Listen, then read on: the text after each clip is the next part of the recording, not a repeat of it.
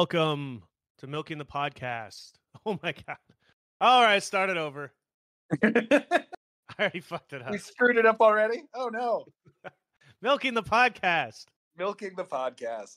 The Cow Crash uh Comicals. Cow Crush Cruppicles. The Candy Crush Chronicles. Excellent. Um, oh man, what if we had a Candy Crush podcast, Tanner, and we just talked about Candy Crush? Hey, we're talking candy today, motherfucker. That's right.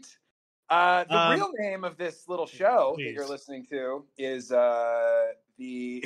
now I can't remember it. Uh, we are Milking the franchise. Milking the franchise. milking the franchise, the Cash Cow Chronicles. Uh, my name's Chris. And I'm Tanner. Yeah, and What an uh, intro. We're professional podcasters, by the Uh, way. absolutely. You couldn't tell. Um, yeah, and uh, this is a show where we uh, pick a movie franchise and we watch all the movies and uh, we read all the books and the graphic novels and the video games and the board games and whatever other stuff we can find.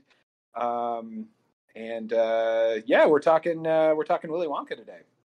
We're talking Wonka. Um, we're talking basically how you know every good franchise turns into a uh, money making machine in all sorts of different ways, um, and how every franchise gets milked to death. Um, yeah, so that's the theme of the pod. Chris, what's the theme of your day looking like, Ooh, my day. Well, let me tell you, Tanner. or your week? uh, last night I ordered DoorDash. I ordered Indian food, and uh, the food that was delivered was not my order. Um, and I Mm. didn't open it right away, so I didn't notice until the, the guy was already gone. And uh, and the food that he delivered was way more like it was a much more expensive order than what I had ordered. And so I ended up eating it, and I was feeling a little bit like a king and like I was getting away with something.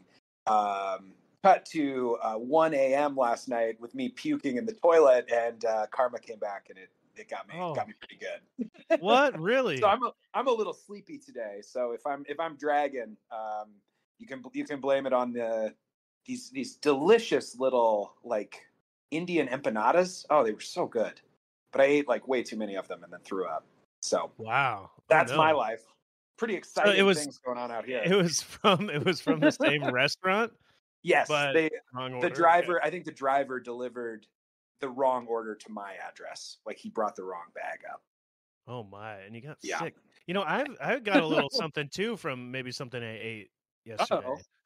Um, not as bad, no no vom, but you know, not feeling great. You know, out the other end. Um, I you know, you know what it was. I work at a restaurant and I ate a bunch of like. There was like a buffet for people, and I ate a bunch of those like hours after it'd been sitting out. So, you know, I mean, it was on a you know buffet tray and it was uh, under a, a fire, but it still was like a bad idea. Um, Yeah. And dear listener if you didn't want to hear about tanner and my intestinal struggles you should not have listened to a willy wonka podcast um, yeah. 'Cause, uh, we're be a talking lot of talk. There's gonna be a lot of talk about that today. without a doubt Um, well, that's okay. We're both in the same similar vibe. You sound like you got it worse than I I did for sure. i'm doing Um, fine just didn't sleep great you know what i'm saying Yes, gotcha. Are you are you off work right now? yeah Oh, Uh, nice. for, Okay, cool. For the break no no no i got one week left one week left Oh, gotcha. You're not in your classroom right now teaching. that was how I heard that question. Like you're not at work with with children around, uh, and no, I'm not at children. You're around, just like, got one, one week left. Yeah, Quiet down. I got to do this. I got to do this pod. I got to cuss about Willy Wonka. Kids, you want to hear about my Quiet my kids. vomiting? Mhm. Um, cool. Well, that's great stuff. Um, Chris, let's uh let's talk about what we do here. We um another part of this podcast that we do is we release surveys with every movie. Um, Oh, yeah. and ask you guys to follow along and listen along with what we watch and answer funny questions and give us funny prompts and give us great material to read on our podcast. Help us make Um, jokes. You know, help us make jokes you know really time. just start conversation is what i try to do with these surveys uh, get people Mm-hmm. talking about it because you know how many times do you watch just like with our bad movie night how many times do you watch a movie and you like you maybe go to a movie with someone and you guys just kind of leave and you never talk about it that happens a lot I like to talk about it after. Not here on this show. We talk about uh-uh. it every week. Maybe too we much. Do. We talk about it so much you'll never want to watch it again. You might be the uh, one throwing up tonight from how much we're talking about movies. That might be you. that's our hope every week. Yep. Um. So yeah, last week we finished RoboCop. So we watched all four RoboCops. Um, and we're gonna quickly wrap that up here with a RoboCop remake survey from the the remake from 2014. Um, so if you're following along, this is very interesting to do. If you're a new listener, you know maybe skip ahead like 10 minutes and yeah. start up the Willy Wonka stuff. Unless um, you're real curious about 2014's RoboCop, because that's what you're going to be getting for a couple minutes here. Yes. Yeah. Um, but it's a good time. Let's do it. RoboCop. Here we go. Um, so we got seven responses. Thank you to the Reddit, the subreddit for RoboCop. They are it's you know probably the same five or six, seven people that keep responding, which I appreciate them. Um, we asked you what your favorite line of this movie was, and it was the winner was I wouldn't buy that for a dollar. Oh, little, they like the callback. The little callback, turn it mm-hmm. around mm-hmm. on its, you know, flip it over. Um, Close second was, "Hey doctor, what happens if I tase an exoskeleton with a little asshole inside?" Great line. Great line. I laughed out loud when that one came on during the movie. uh, next question: Be- Best change from the original trilogy. Um, the worst, the the winner overwhelmingly was Ed 209 is capable and threatening. That's the okay. worst change. And I Bro, agree. best change. Best change. Be careful. Oh, best change. Yeah. Oh, they like that. Okay. They like that. I disagree. Yeah. I yeah. Um, what did you What did you vote for on this one? I'm curious. Motorcycle. Okay. You know I love that motorcycle. I know. What about you your motorcycle? Um, let's see. Scroll through them. I think I voted for one at the bottom. Um, way more family interaction. I did. I, I, think I voted for that one. I didn't really like any of these changes, to be honest, but that one was the one that I felt was most justified. So um, I guess people like that the Ed 209 is is like it's scary. Scary yeah. Now. But I like I like the silly Ed 209. The incompetent, yeah, me too. fumbling. Yeah, yeah, yeah. Yeah, falling okay, down the well, stairs. Well, hey, our listeners are idiots. I'm just kidding. never. I don't want you to ever listen again. You disagree with me. Um. Okay. Next question is the copy paste, but worst change from the original trilogy. We got a tie between no robotic aspect has his full human personality. So that was right. that was a big change. Yeah, that it wasn't like a robotic person with a little bit of a you know, a little bit of his memories. He was like fully himself inside. Yes, it was just that Alex Murphy, hundred percent, but with robot stuff. Superhero Alex Murphy. Yeah. Yep. And then the the tie with that was um his suit. People didn't like his suit and his cool visor. Um, I'll agree with that one too. Did not yeah. care for that. Yeah. yeah. Trying too hard to be cool. Yeah. Um, favorite A-list actor. So there's a ton of good people in this movie. We got a three-way tie between Michael K. Williams, Gary Oldman, and Michael Keaton. Love it. go. Nobody voted for Dusk, aka Abbie Cornish. well, let's put her on the survey again this week just to see. Maybe maybe people missed her. Even though you put her name in all caps. Well, that is that's how her her alter ego is spelled with all caps. Oh, that's how it's spelled. Okay. All well, and yeah, you look up Dusk Abbie Cornish, her her musical side project. Um, it's all caps. Yeah. Okay, there we go. Um, in the movie, Gary Oldman makes robot arms for a guitar player, and he plays a beautiful classical song. What emotionally resonant song would you want to hear next? We got the overwhelming winner was Wonderwall by uh, Oasis. Fantastic. Um, yeah. Again, nobody voted for Dusk. No, unfortunate. But two people voted uh, think... for Focus by or Hocus Pocus by Focus. Oh, excellent! That uh, yodeling song that they play over the the gun scene. Uh, yeah, and I think that purple one's a right in. Yeah, that's Baby Shark. Um, the other write in totally just was no idea, which you know doesn't need yeah. to be written in. But all right, what were you gonna say? Oh, I was just saying that uh, if that song had been Baby Shark, that would have really changed that scene. I like uh, I like the visual of that. um. Well, you know, he's he's a family man. Probably mm-hmm. goes home and wants to show off to his kid. Look what I can do. Mm-hmm. Um. So in this movie, he kept calling RoboCop Tin Man. Um, one of the guys did. Hey, Tin Man. So besides Tin Man, what insult would you use on a RoboCop? We got Metal Mouth, Copper Daddy, Ooh. Aluminum Can Man, uh, Chrome Dome, nice. Ooh, tin nice. Tin Pig. yeah, uh, that gets the cop in there, you know. Tin Pig. Oh yeah, good. I didn't even think about yeah. that. Yeah. Mm-hmm. Uh, RoboCock, nice. clever. C3PO. Um, oh, probably PO the for cl- police officer. Oh, maybe. Yeah, yeah. C3, C3 Popo, something like that. C3P. Oh, Popo. That's really good. um, probably the classic bucket of bolts. Oh, bucket a bucket of bolts. That'll that'll then, that'll teach him. that'll learn him. Uh, defective directive. Yeah, that'll mm-hmm. show him. Rhymes. Um, and then besides a car bomb, cock block.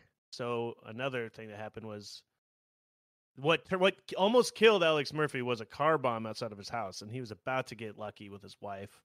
Mm-hmm. Um, and then they it, were interrupted. Yeah, yeah, by this car bomb. By by fucking car bomb. So besides a car bomb, cock block, what is the worst cock block you can think of? We got a nuke drop right as your pants drop. Um, a double drop. No. bull stampede outside of your house. Mm-hmm. Or a clown really? arrives. what if the clown's into it? That's uh, yeah, that could go either way. Yeah, it could go either way. Uh castration. Ouch. Oh yeah, that one uh that'll damper that'll damper things right quick. Uh execution. Just straight up murdered. Okay. Mm-hmm. Sex scene. Cock block. Okay. I don't know if you're doing sex scenes right. If that uh, made it on the list here. Misunderstood the the assignment, I believe. Maybe, yeah. Um, shotgun death, very specific. Mm-hmm. And then we just got an emoji of a baby. okay. They're always yeah. crying and pooping and stuff, you know. Oh, the baby starts making. Yeah. yeah. Okay. Um, and then we asked you to rate RoboCop 2014 uh, overwhelming percentage of a two out of five. Um, so people did not care for it, although we got a, a couple threes and a four. So you know, overwhelming, uh, you know, fifty percent ish or under. Sure. Yeah. Um, and then we got some overall RoboCop franchise questions, real quick. Uh, favorite RoboCop movie was the first one, although someone did vote for number three. I love it.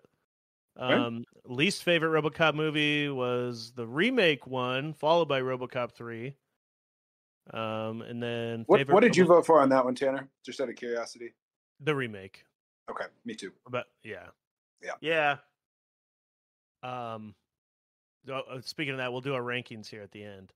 Yeah. Um, favorite RoboCop actor, uh, Peter Weller, of course, and somebody the the RoboCop three voter probably voted for this as well. Robert John Burke, who played RoboCop in the third movie. Yeah. Thought he was great, I guess.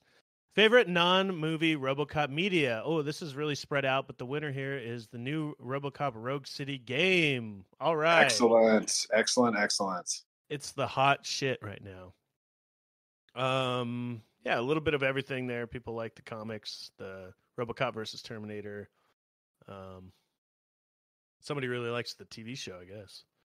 Cool. Um, and then favorite RoboCop villain, also very spread out. We got a tie between Boddicker and RoboCop 2 from RoboCop 2. um, and then what should they do with the RoboCop franchise? Okay, there another spread out one here. Um, yeah, a little bit of everything was, here. The overall winner was RoboCop versus Terminator. They should adapt that into something, a movie or a series would be awesome. Yes, and I agree. Um, I also like anything. Some, yeah, somebody wrote in anything. That's nice. Just anything. More RoboCop. I just need more. So some people, yeah, every a little bit of everything. Someone voted for. One person wants a legacy sequel with Peter Weller. Someone else wants a direct sequel to the Joel Kinnaman reboot movie, which I'm surprised about. Mhm. um, and then a new reboot as well. Well, cool. Um, Cool, that's yeah. RoboCop. Before we get into Willy Wonka's franchise, um, let's talk real quickly. Let's do our rankings, Chris. What do you think? Absolutely. Do you want to start or should I?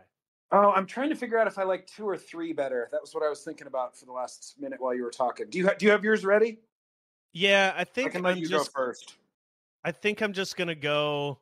Again, we've done this a lot in the last maybe like three franchises. Uh, right down the middle, or just like straight down. Um, the first one's the best, and the newest one's the worst. So RoboCop one, two, three, and then the remake. Fair. Yeah. Yeah, although two and three, you're right. I did have fun with three, even though I think I it's thought- a worse movie. Yeah. But it has Um, a jetpack. Jetpacks are. It has a fucking cool. jetpack. Like, what's not to love about that? Uh, yeah. I mean, to be contrarian, I think maybe I would put three in front of two, but I think I think I agree. I think two's a little better. Um, and uh, favorite, obviously, the original, and least favorite was the one we watched last week. So, Cool. yeah, man, that was Well, a good time. Though. I really enjoyed that Oh, franchise. yeah. It was a lot of fun. Me too. Yeah, there's there's some good IP around it too. It's fun. Yeah. Yep. yep, yep. Um, I like reading comics. Hopefully, we'll get to read the uh, Willy Wonka, Frank Miller comic. it's really bloody, dude. Really dark. Really sexual. Yeah. You thought the book was dark? No, no, no, no. Um, oh, let's close the door on RoboCop. Any final words besides the final words we just said? Close her up, baby. And we'll open right. up a new book, taking this metaphor way too far, uh, on the on the the Willy's Wonkas. The Swilly Swanka. That's the one. Um, yeah. So Willy Wonka. This movie is uh, Willy Wonka and the Chocolate Factory.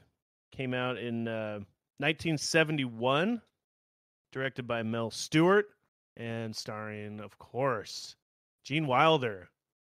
So good. Um, so good. Yeah. And yeah, I will say that you you said you're reading the book, and I know they changed the title. It's called Charlie and the Chocolate Factory, but they changed this to Willy Wonka and the Chocolate Factory. Um, little tidbit at the front here. I don't know if you read this, but did you read why they changed the name? I did not read why. Uh, I'm assuming just because Willy Wonka is the best part of this movie, and they wanted to put that up front. But was was there a different mean, reason?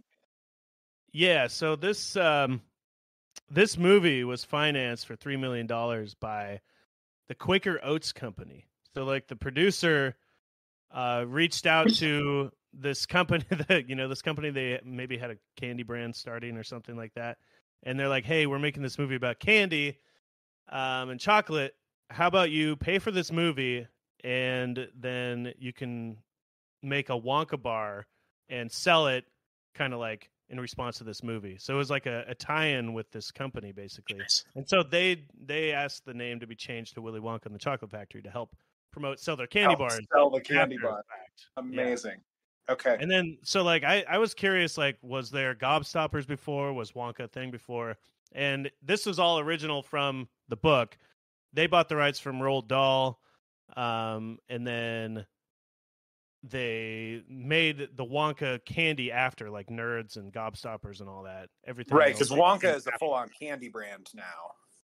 It was, yeah. Apparently, it's not anymore, which I didn't Oh, really? realize. But for like 20, 30 years, it had their name on a lot of those candies. Um, but now it's it's not on there any, anymore. Who makes I believe. nerds? I mean, it's like the same company, but now they have a new parent company, and like the the names Oh, have changed. Yeah. So I think maybe over the years they Fine, just I fine. This is me. I'm going to be grumpy about it. You can't make me happy about it. I should have waited till the end to tell you. No, that's fine. Uh, it just came up now, um, but I thought that was very interesting. yeah, big time. Uh, what a what a funny way to finance a movie. Like getting a I know exactly. like finding a candy tie-in and then finding a like a, a producer that just wants to sell the candy. Yeah, Uh, like they hadn't even made any of the candy yet or the chocolate bar. And apparently the original Wonka bar never actually made it to shelves. And then like they still used the name later on to put on different candies and Okay. help sell their candy. Um but the Wonka bar, the original Wonka bar that they were going to make for the movie never came out because of production issues or something. So the movie came out without any tie-in chocolate anyway. Uh, yeah, That So seems like a real loss because I feel like you could put golden tickets in the Wonka bars and then kids could go to the movie for free. You know, like I it's mean, right there. genius. Yeah, Yeah. I think they should have done that with the. I don't know. Maybe they did with the one that came out twenty or two thousand five or whatever. And Right. the new one coming up, they should have stuff like that. Yeah, you find a golden ticket, you get a free movie ticket. It's right there. Yeah. Easy. Maybe maybe they did do it. We'll see. Yeah. Um. So yeah, let's talk about this. Chris, do you want to get us started? Yeah, sure. Um let's see. Where are we beginning? Um we are starting in is this movie in England? Is this supposed to be in London? I think it's not because they don't have. No, most of them are American. I'd say Willy Wonka doesn't have an accent, does he? You're right, he doesn't. I think it's in Uh, the U.S. In the US somewhere. Okay. We'll uh, we'll double check that. But uh or Oompa Land, perhaps. It could be Oompa Land. Yeah, maybe I'm maybe I'm way off base. Um, anyway, uh, we start uh, at the beginning at this strange old timey candy store where children can go in, walk up to the bar, and uh, buy a candy bar from the bar from like a, a candy barber is how I would describe the way that that man looks. Um, Yeah, and they're buying uh, bartender. Yep, a Wonka bartender. They're buying triple cream cups. They're buying squelching snorters. They're buying scrum diddlyumptious bars, and they're buying sizzlers, baby. Oh, I love the candy names in this. Yeah, the I don't know the so many of the little bits, the Roald Dahl like uh, turns of phrase that made it into this movie and into the book are so clever. Uh, Yeah. a scrum diddlyumptious bar. It's just wonderful. Great. Um, yeah. Um, yeah. So what goes on in the candy store, Tanner? What's happening there? Well, I don't know. They're all just clamoring for candy, and you know, they're like, "How does he do it? He keeps coming up with new stuff." Do you ask a Mhm. bird how it flies? You know, that it just he just does it. Willy Wonka just does it. Yeah. Um, so, so they're setting him up as a real candy genius. candy genius for sure. Mhm. Um, and then you know we get a little song. This movie is a musical, um, and it's got this song "Candyman," of course, the Candyman can. Everyone knows this song. Um, it was made for this movie. Yep. Um, which I was curious about as well because it's there's so many iterations. Sammy Davis Jr. made it really popular like the next year apparently. Um, but it's from this. Okay. Yeah. Um, I was I found that man singing the song to be a little creepy, but as a Oh, kid, really? it didn't strike me that way. So um, I'm gonna let it go. Um, Wait, are you saying that like the candy? Oh, okay, like the candy man. the man like- singing the Candyman can? I thought his delivery was creepy. oh, really? Okay, like he's Yeah. getting a little too close. I didn't know. Yeah, that. it's kind of weird. Just the whole thing. It's got the vibes are off. Uh, I uh, you know, this reminded me of. There's this place. Have you ever been to Seaside, Oregon? Oh gosh, did we go to Seaside, Oregon together in college? Yes, actually, we did. I forgot. so yeah, to Seaside, Oregon. well, there's the candy shop there. That's like a really like they do Laffy Taffy and all that, or not Laffy Taffy, but what am I trying to say? Sea salt, sea Uh, saltwater Sea- taffy. saltwater taffy. Thank you. There we go. We got there Um, together. and all sorts of whatever. Um, but they play this song, The Candyman, literally over and over all day long, every single day. And Oh my. I've been there many times in my life, like as a kid. That's it's a really great candy shop, but it just every time I think of the song, I think of how that's playing every day and how that guy must be going absolutely nuts hearing that song. Yeah. a hundred times a day, probably. I can't even more. imagine. Yeah, Oh I can't God. even imagine. it literally just repeats over and over again. Do you think there was a time in like 2006 or whatever when he got the store to change it to the candy shop by 50 Cent? Let me take you to the candy shop. Oh, that'd be cool. Yeah, maybe they could go The back whole- and forth between the two songs. Be a whole other vibe. Oh, that's for sure. People dancing Uh, in thongs. Oh, I mean, Um, when you play that song, that just happens. That's what I think of. They come out of the woodwork. Yeah.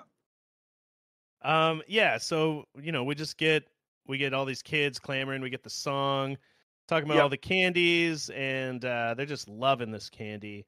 And poor Charlie Bucket, our main protagonist, is outside just looking through the window, all sad. Yep. Um, because he's really poor and he He's can't too- afford any candy. He's too poor for the candy stuff, candy shop.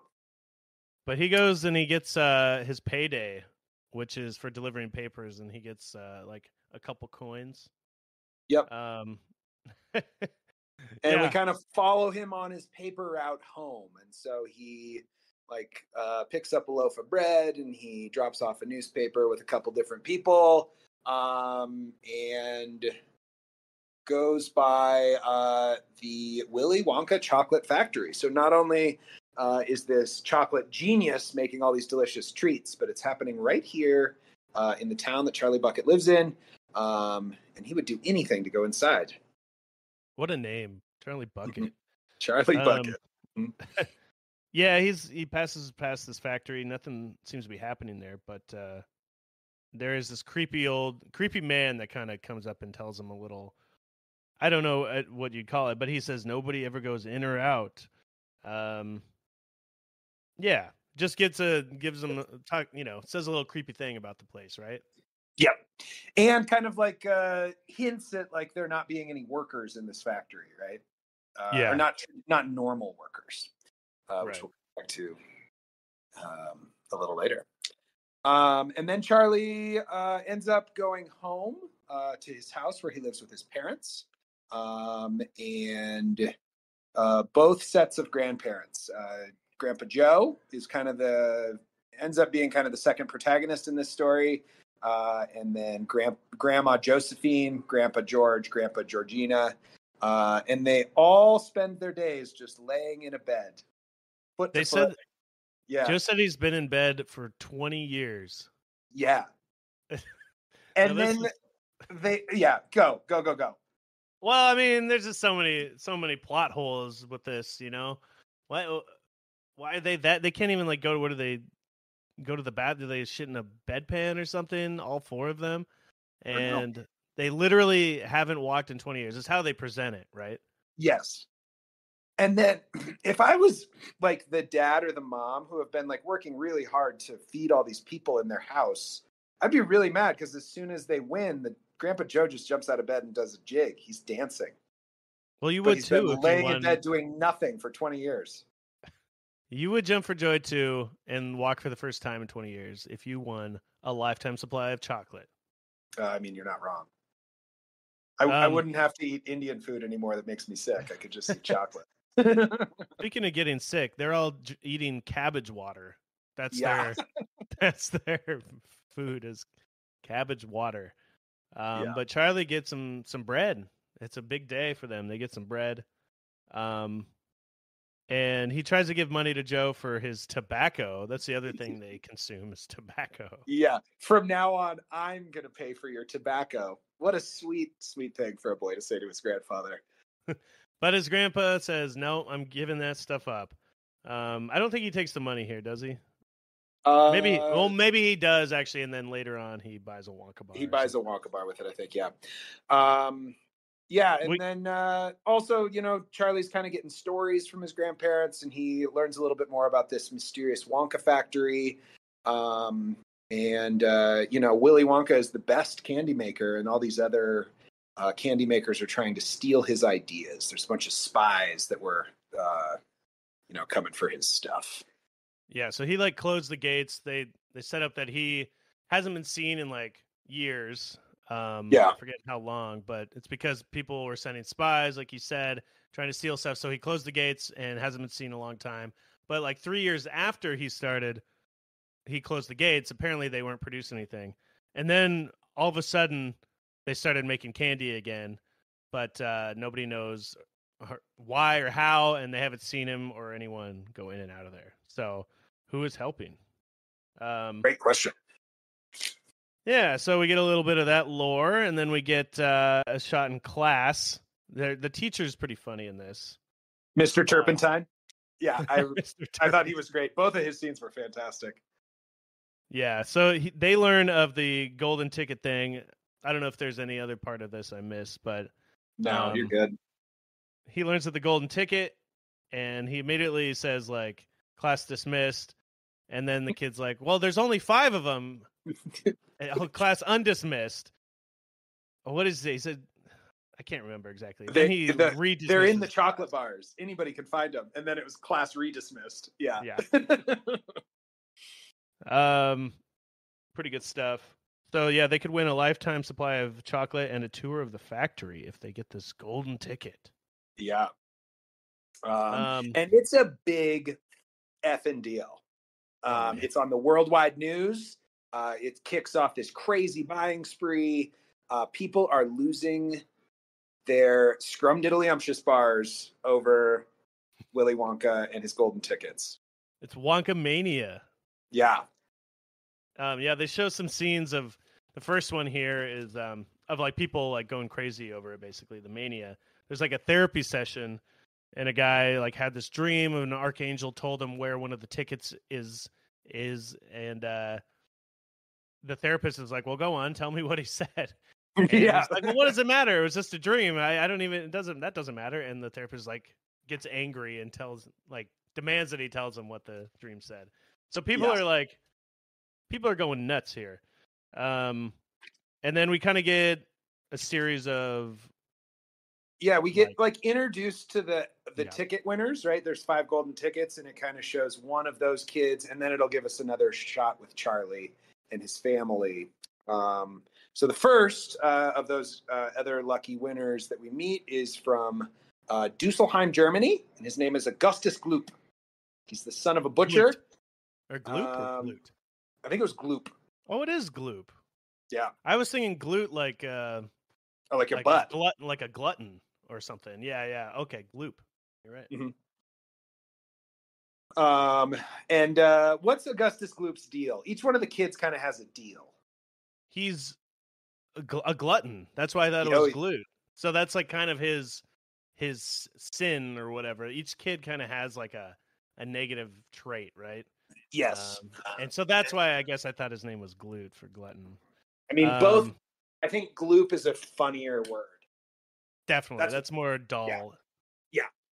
yeah. Um, and they they interview him on the TV in Germany, and they say, "How does it make you feel?" He says, "Hungry."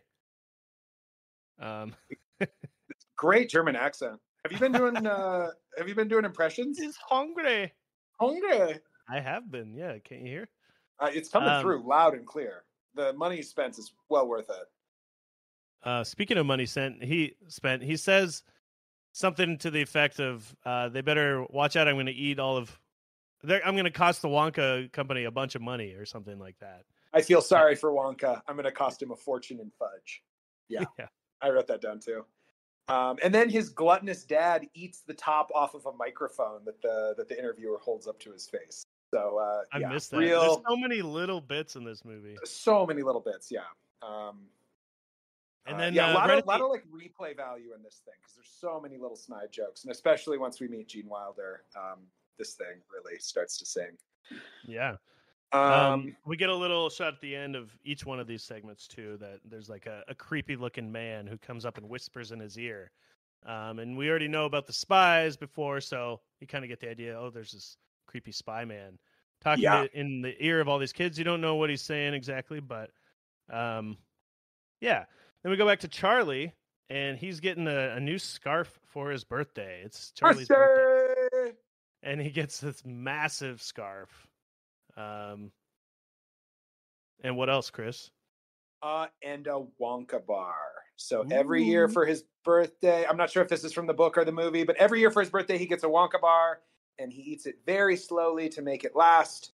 And this year, he might win a golden ticket. And the movie kind of trickeroos us into thinking he might have been the lucky winner, uh, but he did not win uh, with his birthday chocolate. Um, he did get that huge sweater though, so not a total loss. Scarf, yeah. Sorry, scarf, not sweater. Um, so not a total loss. sweater. Mm-hmm. Yeah, um, not a total loss. It's pretty cool looking. Um, and yeah, then we get the next shot of um, it's Veruca factory. Yeah, so we introduced to her. She's a total fucking brat. She's, yeah, she's awful. Yeah, she wants every daddy, give me this, daddy, give me. I want the Wonka bar. So her dad is such a I don't even know what you want to call that. He's just like a pushover or whatever, um, bringing out his paycheck t- or his uh, his checkbook to to get his daughter whatever she wants, um, and they have hired like hundreds of people to open box after box and Wonka bar after Wonka bar looking for this thing. Well, Um, the dad owns a peanut factory, Right. and he has just shut down all peanut operations, and he's making all of his workers open chocolate bars for his daughter. So these these Yeah. ladies normally are just opening nuts, right? Like Yes. opening peanut shells all day long. Yeah, Yeah. Um and you know, she's so mean to daddy. She's so mean. she's so Um, mean. But she finds one. She gets her wish. She got her her golden ticket. Mm-hmm. Um, Uh, how so now, now two of the tickets have been spoken for. Yeah. Um Uh, and you get this little shot of uh, you just get intercut with all these little scenes of the Wonka mania and what other people are doing in the world. So somebody has invented an, invented a machine that supposedly tells you what the remaining three tickets are going to be.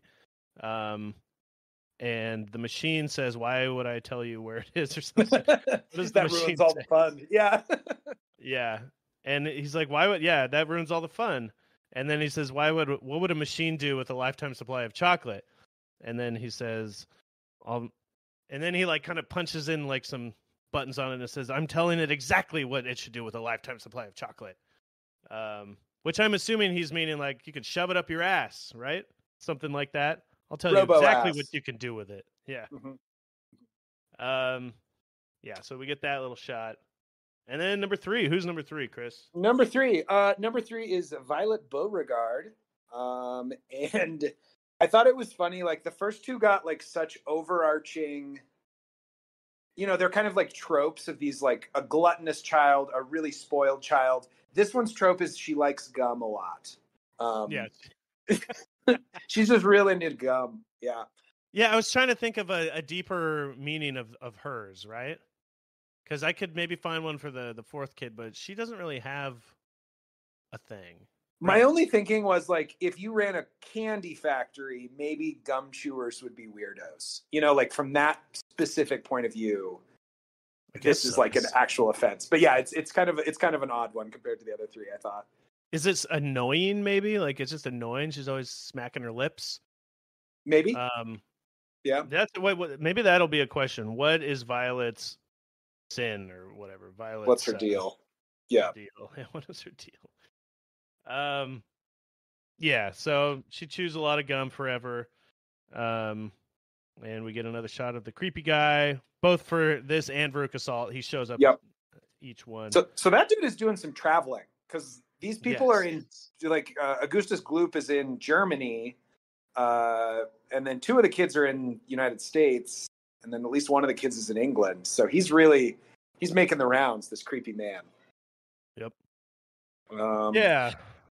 Our next shot from there goes to uh, Charlie going to visit his mom at work, um, and he's really upset. He really wants this golden ticket, uh, and his mom is trying to let him down easy. Um, and we get our second song of the movie, which is uh, "Cheer Up, Charlie." Um, I did not remember that song at all. yeah, neither did I. These other songs are really burned into my memory, and I've seen it a bunch of times, but I don't. I didn't remember that song at all. Um. Yeah. It's a fine Um, song. she says something about how there's a hundred billion people in this world. Like, how could you? The numbers that people say in these are just all out of whack. Um, how many people are in the world? Like eight billion, something like that. It's, yeah, seven to nine, somewhere in there. I don't quite remember. Um, Not a hundred billion. Like, how you know? How would you expect to win? All these people Mhm. getting excited over the chance, like such a small chance of winning. Um, yeah. But uh, the next one we get the fourth kid now. Yep. Um, and it's little Mike Teevee. T E E. Wait, T E E V E E. Right? Nailed it. Yep, exactly. T E V E. TV. E. Um, Um, yeah. And They're his thing, to- as his name might suggest, he's into the TV. He likes watching shoot 'em up shows. He has a bunch of toy guns, and he loves TV, television. So this one, it's it's maybe not as also not as bad as the first two kids, right? But he's Mhm. like I guess the thing that they are trying to say is don't watch so much TV, read books later on is kind of what they're emphasizing because mm-hmm. um, it'll rot your brain or something. Do you think um, that the um producers of this movie reached out to Big Book to help them, you know, promote book? And that's why this yes. character's in the movie. Okay, great. Big Big Book. Big Book. book. Mm-hmm. uh, um, yeah, so he's too busy watching TV shows to give the reporter any time. Yeah. Um, you know, they're, they're like, "You like this killing, huh?" He's like, "What do you think life's all about?" I like this kid. Um, he's uh, yeah, he he's also from Westerns. Arizona, and that's a very Arizona attitude, you know. Yeah, he's got the cowboy hat. He likes his little play guns, and his yep. dad says you can't have a gun until you're 12. Um, Rules are important. Good parenting. yeah, exactly. Uh, what else do we get next? Uh, from here, Grandpa Joe uh, has that little bit of money that Charlie gave him at the beginning, uh, his tobacco money, and he uses his tobacco money uh, to buy Charlie another Wonka bar. But this one also is a loser, um, and okay, we're still in the middle. Go ahead. This is where I'm wondering. Okay, if he's been bedridden for 20 years, how is he getting up and buying Wonka bars? Great question. I, uh, I, this movie makes no sense. I'm done. I mean, I guess he's sending the mom out to buy stuff for him, maybe.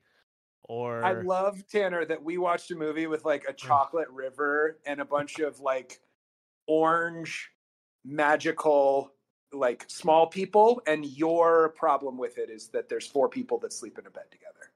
It's fucking bullshit. Well, I don't care that they sleep in a bed together.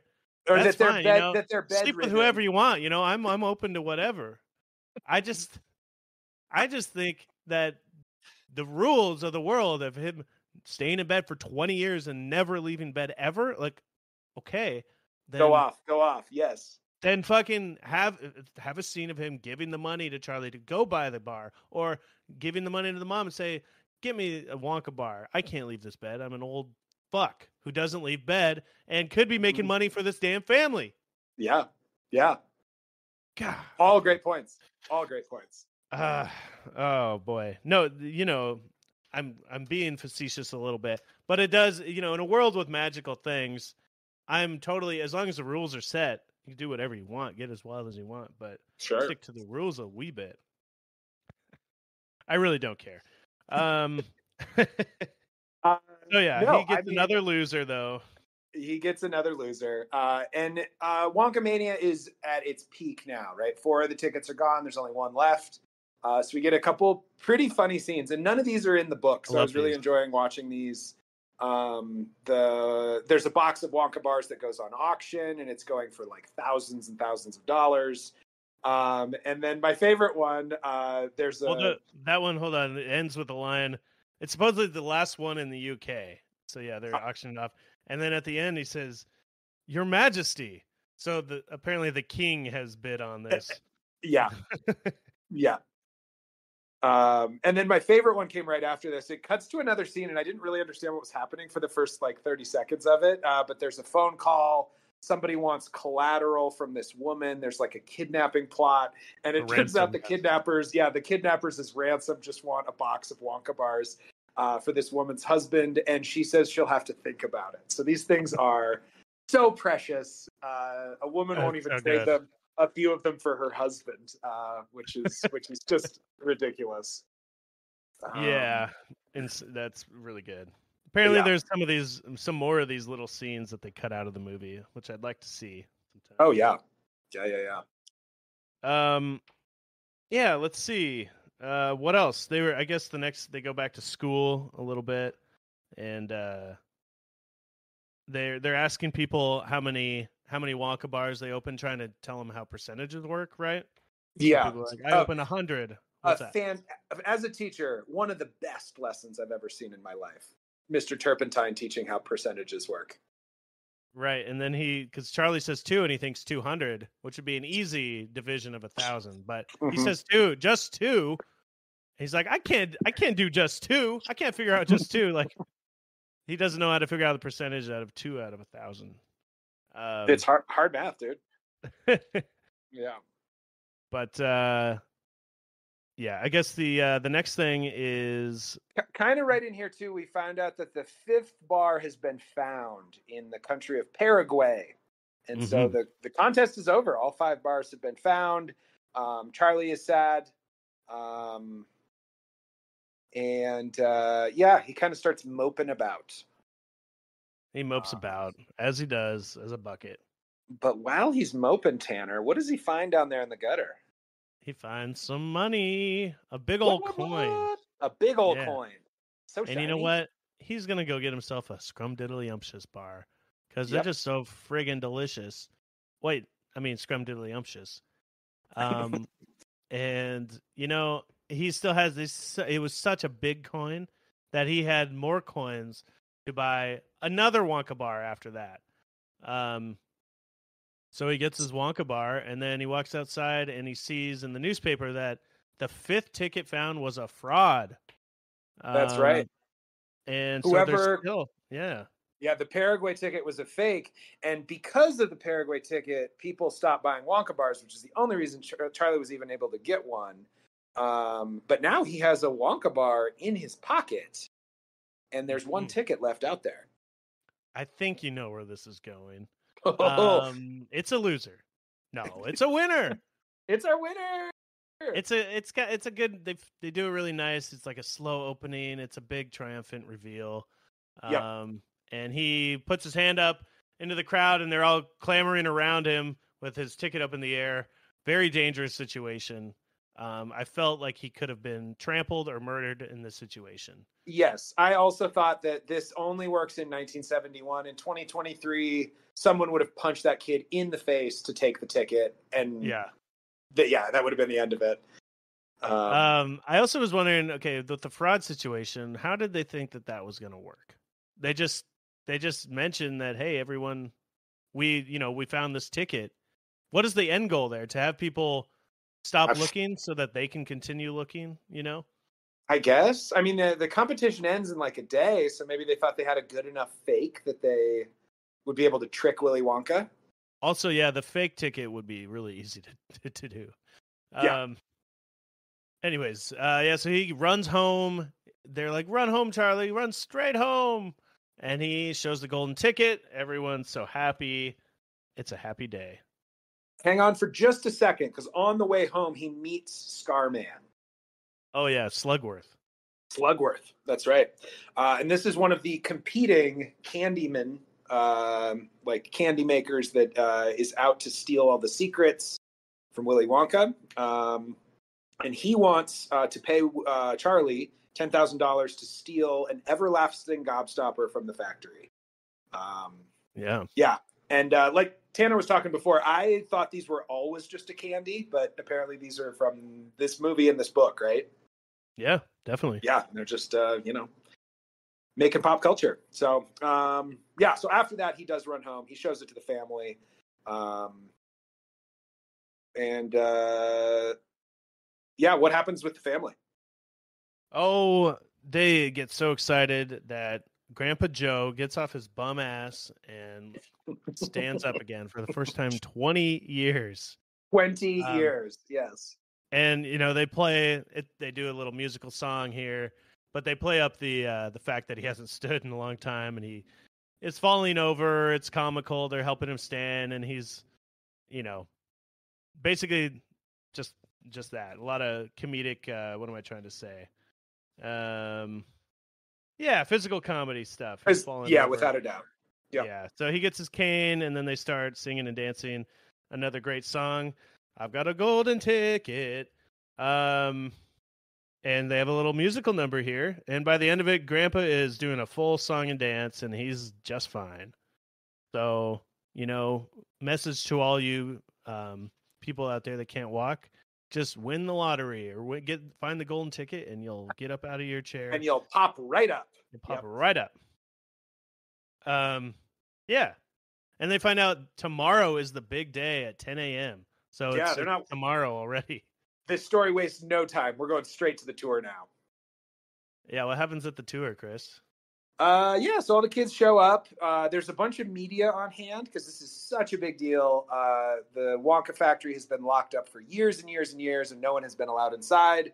Um, and these five lucky children that won this international competition get to go inside.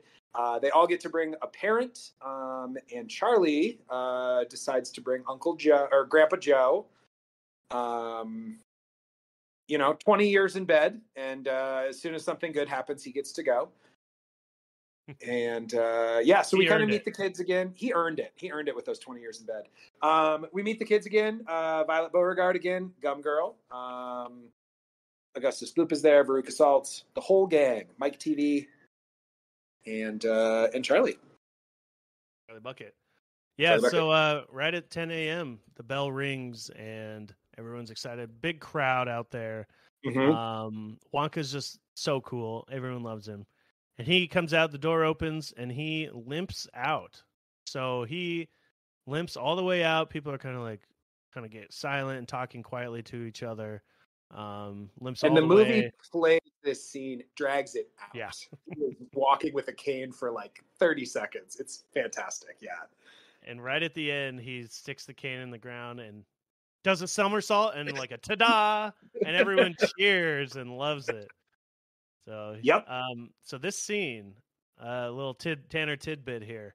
Please. Um, this scene was 100% um, Gene Wilder's idea and demanded he wouldn't do the movie unless this scene was in it. Specifically, Seriously. yeah, because he wanted, he said, this has to be the way he gets introduced because from that point forward, you won't be able to tell if he's lying or not ever. Um, so it's like he wanted the character to be completely mysterious. You don't know if he's good or bad or lying or telling the truth.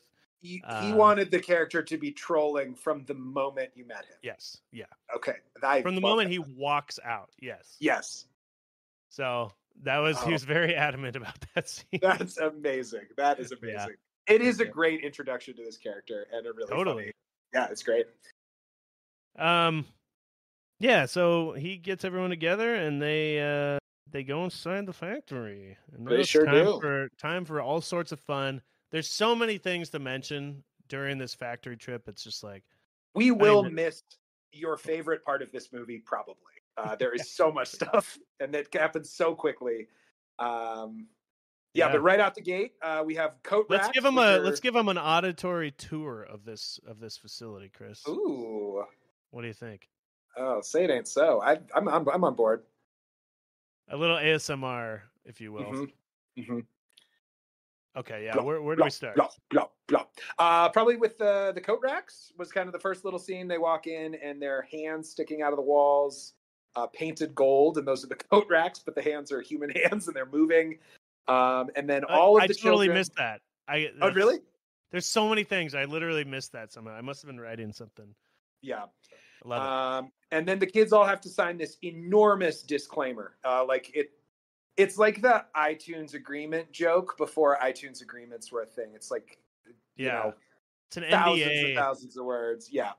NDA that goes so all the way down from large font to like really teeny tiny font to the point you literally can't read any of it. Yes. Comically small. Yeah. Um, but all the kids sign it because if they don't, they're getting kicked off the tour. So everybody's on board. Um, and Wonka takes them into uh, like this strange little, like almost like a closet, and just starts hitting on the walls of this closet. Everybody's packed in there looking for a door. Um, only to leave out of the door that they came in from. Uh, but somehow what was on the other side had changed. So now they're in a different room of this factory. Um, and well, you got to go forward to go backward, Chris. that's right. Uh, and all the parents, or most of the parents of, uh, of, especially of the bratty children, are really upset about the tour at this point. Um, Already too. Yeah. already, yeah, straight out the gate. Um, Um, and he says, yeah. So they go out the small hallway into a, a small room, kind of Alice in Wonderlandy with the tiny doors and stuff. yeah, Um, and then there, one of the parents says, "What is this, Wonka? Some kind of fun house? Why having fun?" Love that. There's just so many good lines. it's so many. Yeah, just nonstop. Uh, But, yeah, and then um, before they leave, uh, don't lose your head, Augustus. We wouldn't want anyone to lose that yet. it's just like Yeah. Uh, so they get out of this little closet, and uh, where are we off to next, Tanner? now they uh they go to the chocolate room or whatever. I forget Yep. what it's called. Chocolate room. and You got it. Yeah, and you can eat almost anything, he says. Um, and there's a quick little thing. There's a, a lock on the door, but it's a keyboard, musical lock. So you have to play a Mhm. little tune on the keyboard to unlock. Another awesome idea. Um, yeah, and so you get a little shot of this land. I'm sure everyone's seen it, but you know, it's got like mushrooms, big mushrooms and trees. It's very almost psychedelic, like I said, Alice in Wonderlandy vibe to it. Um, Yeah. But everything is edible in the room. There's a chocolate river, a chocolate waterfall. Um, you got gummy bear bushes growing on bushes. You've got I don't know candy cane trees or whatever else. So many, so many things. Um, and they all just kind of go wild and are allowed to eat whatever they want. Yeah. Um, uh, meanwhile, Willy is singing the uh, "Come with Me and You'll Be in a World of Pure Imagination," and the kids are just going crazy, munching chocolate. Um, it's such a great song. I love the song so Yeah. much. Um, it stands up. I love it. Uh, a lot of the music does too. Um, yeah, this one in particular, I thought had kind of like a dark undercurrent. It's like a, it's not. I don't know. Uh, it's got and that maybe it's just Gene, Gene Wilder, it's but like it's da, da, da, Mhm. which is nice and pretty, but then it does that little twinkly kind of sound, you know, where it Yeah. kind of gets like ding dong ding dong, something like that. Yeah, so it has that little creepy vibe to it too. The whole movie has a little thin, creepy vibe, of course. yeah, it's Um, part of the part of the draw. Yeah, for sure. Um, yeah, so you get all sorts of all sorts of things. What do people even eat here? The little balloon, like not balloons, but little gummy bear things. People are breaking into um, much big giant mushrooms and eating like goop out of it, and then um, I think you see the Oompa Loompas now. Is that yeah? Uh, you do. You meet the Oompa Loompas. Um, and you get a little they they mention how the um the waterfall is actually mixing the chocolate here Um, yeah, I wrote that line down. No other factory in the world mixes its chocolate by waterfall, but it's the only way if you want it just right. It. so Um, insane. Mhm. yeah i don't i don't know if we get a song quite yet but you see the oompa loompas um and he gets a little explanation of how they're little men from loompa land Mhm. um where they have animals like uh let's see i wrote these down a whangdoodle hornswogglers snozzwangers and vermit vermituous canids is that right Vermici- I heard it as vermicious canids, but I don't know if Vermicious any of that stuff's words. So yeah, well, none of it's really words, yeah, but uh, just more Roald Dahl fun. yep. And Um, and more Gene Wilder just fucking with these people. You know, he. And then one of them is like, "Are you messing with us?" And he's like, "All questions must be submitted in writing." Uh, yeah, he's. Did they say, "Are you fucking with us"? No. Uh, Maybe that's Um, going to be in the the Johnny Depp version that we're watching next week. oh, I hope so. Yeah. Um, and we get Veruca Salt, the little brat who wants everything. She wants an Oompa Loompa now, Daddy.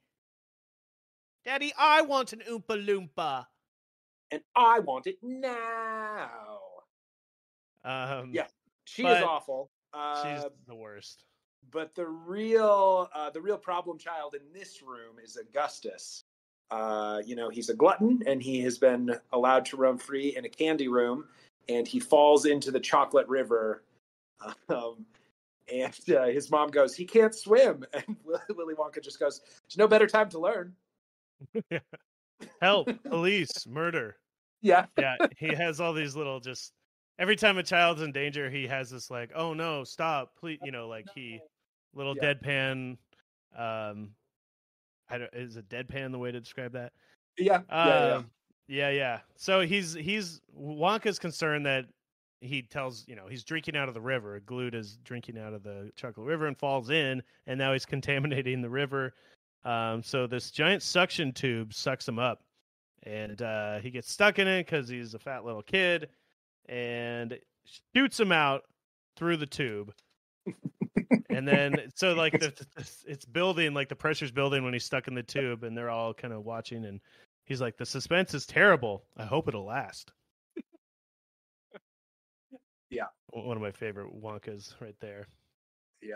Uh, and he plays a little flute, and the Oompa Loompas come and take uh, Gloop's mom away.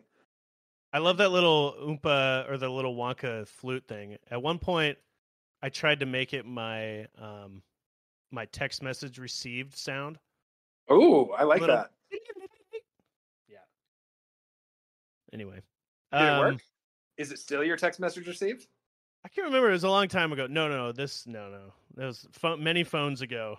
Okay. Is this back when you had to and, pay for ringtones? You remember that? No, I think it was something I tried that you could make a ringtone. Okay. Um, yeah, and I never have my thing. I never. My phone does not make a sound ever. So, okay. um, yeah. But uh, then we get the first of four Oompa Loompa songs. So the classic Oompa Loompa song. Um, Chris, you said you were going to sing the whole thing right here. Is that? uh, damn it! Did I did I sign that away when I signed that giant legally binding document that got really small at the end? You did exactly. oh no! Um, oompa loompa loompa dee doo. There it is. That's the whole I don't thing. this one goes. That's the whole thing. There we go. Um, yeah. So each of these songs, the Oompas come out and they do a little dance and a song um, and they take the parents away for each kid, and it's kind of like a themed um, lesson, if you will, for each problem child. Yep. Um, and this one's about you know where are you at getting terribly fat you know it's about being a glutton being a gloop mm-hmm. um yeah so there's that the oompa takes off after a nice little ditty and then after that, I think people are upset, we, but yeah, yeah, but it passes. You know, the the Wonka just is moving them through the tour and uh, kind of loads everybody up onto a paddle boat on the Chocolate River. Um, and another down great... the Chocolate River, baby. Oh yeah, another line I wrote down. Uh, one of the one of the dads asks, "Are you sure this thing will float, Wonka?" And he goes, "With your buoyancy, rest assured." Uh, you know, it's a sly fat dig. Oh, really is it fat or like a dumb? empty-headed. Oh, both. It works. Both it works great either way. Yeah. Yeah, yeah. Um, um so they, yeah, so they they hop on this boat. A Wonka mm-hmm. boat comes out, and they call it the uh, the Wonkatania, which I think is a reference to the sunken, the the historically famous boat, the Lusitania, perhaps. Oh, what, do you know anything about that boat? Uh, so the Lusitania was the I believe the boat that like sparked World War One or something. Um, like somebody Wait, did it kill Franz Ferdinand? okay, but there the thing that the thing that uh, sparked World War One. I, I remember we had this debate of what actually um, sparked it. So I could be wrong about that. It's not that, but it was an ocean liner that was like down by something by Germans. Um, yeah, Okay. Yeah. Um, and I think it had some war implications. So I'm totally wrong about that. But um, okay, yeah, great. It's it's something like that. That's what I assume it's a reference to. I remember learning about it, and he's called it the Wonkatania, and I uh-huh. just yeah. That anyway. that stuck, and that's this week's Tanner's boat facts. That's my inaccurate historical um, thing of the week, which I had last week as well, and I will rectify at the end of the show. I want to oh, no. give an apology. I have an apology to make. Oh man. Okay. Involving IHOP. Uh, oh no. really? Okay. Well, if you weren't hooked on this episode before Tanner hinted at that, you certainly are now. Yeah.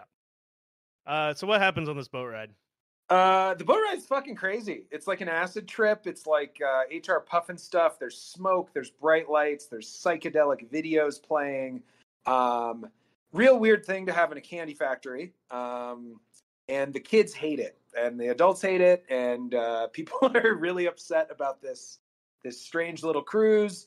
Uh, but they pop out, out at the other end um, at the inventing room. Uh, do you have anything you wanted to add on that boat ride? I did. Um, Please. you mean the the Lusitania boat ride? Yes. So Yes. I, I just want to say that I I am sort of right because it was sunk in 1915 and war the war started in 1917. And this back on the was-? Yeah. Okay. this was uh it was a major factor in building American support for the war. So the okay. Germans um it was 2 years before the declaration of war on Germany, but it was uh, a huge reason for going to war. Um to get the Okay. Americans involved in it. So yeah. I'm Okay, not as you were right. I thought I was. You were right. Yeah, I didn't hear what you said about the boat ride, but I'll assume you got it all in. You were reading about the Lusitania, weren't you? yes. Yeah. I love it. Uh, yeah, I just said the boat ride was crazy, and it was a bunch of psychedelic, like HR Pufnstuf, flashing lights, weird puppets, strange visuals, like weird stuff. Yeah, it's just um a d- yeah, a dark tunnel, a crazy a lot it's probably the scariest part of the movie if I had to guess Yeah. like for a kid.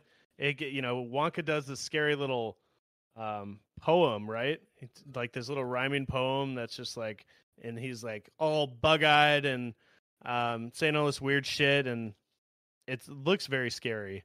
Yes. Um, and the the TV kid at one point says, "Boy, what a great series this will make." Um, and yeah, I don't know. Yeah. Um, what else does he say? A couple good lines here. Uncle Joe says something about Veru- or Wonka says something about Veruca Salt being a lady, and Uncle Joe says, "If she's a lady, I'm a vermicious knid." little Um, little and then- callback to the to Willy's story earlier. and uh, what's her name? The uh, the bubblegum chewer, Beauregarde, Violet Beauregarde is Yep. picking her nose and says something about spitting is a dirty habit uh, while picking her nose, and then he looks at her and says, "I can think of a worse one." Yep. Um, yeah. Anyway, so they get they get off the tunnel um, on the boat, and it stops right at the right second, um, and they get off. And where do they where do they go here? To the Uh, inventing room. The inventing room, yeah. Uh, so they they pop inside. There's a bunch of Oompa Loompas running around. There is smoke and cauldrons and like all of the glassware that you imagine when you think about a science lab. You know what I mean? Yeah, like beakers and colorful liquids and beakers and like long tubes with colorful liquids and weird machines. Yeah, yeah. Um, he does all these crazy things like he throws a clock inside of one of its one of the bowls, you know, like a big cauldron. Mhm. Um, he throws shoes inside of another cauldron and says this gives it a little kick. Um, at one I point he didn't catch that. Oh, that's amazing. Yeah, yeah. Okay. I I actually had to re- put shoes in. I didn't catch the line. I didn't connect that in the time. I was the Yeah. opposite. I saw the little kick thing and I was like, wait, what did he put in there? And rewound it. Saw the shoes. Fantastic. Um, he puts a jacket at one point, just someone's jacket into it. Um, he also gets on a bike and is stirring something, like using the bike pedals or like something attached to the bike. There's also exploding candy, great against your enemies. Um, and Mike Teevee gets kind of hit by an exploding candy, yeah. but he's fine. Um, yeah. What else happens Also- here? There's yeah. Also in here, yeah, there's a lot going on here. Uh, there's a bunch of lines. Um, I I'm not going to go over the ones I wrote down, but we also see the everlasting gobstopper machine, um, and we know that that's what Slugworth is after. Uh, and each one of the kids had met with Slugworth, and each one gets a gobstopper. Um, and yeah, the then- machine is kind of secretive. He's like, you can't look under that. Uh-huh. Um, and then you get the condescending Wonka meme shot. Yep. Yep. Um, you know, all, all our young listeners know exactly what I mean.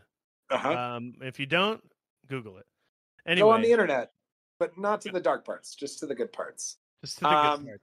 And uh, yeah, so these ones are supposed to be everlasting, like truly everlasting. It will never go away. So each kid only gets one, um, and then they head off. Uh, Bad business model, by the way. Oh, really bad. Yeah, no, it's, you know, planned obsolescence is uh, Yeah. is what capitalism's doing to us now, and this is not that. Yeah.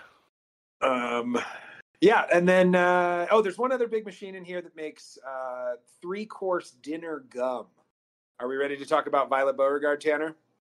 Yeah, this machine um, is crazy. It's got one part of it has like a a bee's nest making honey.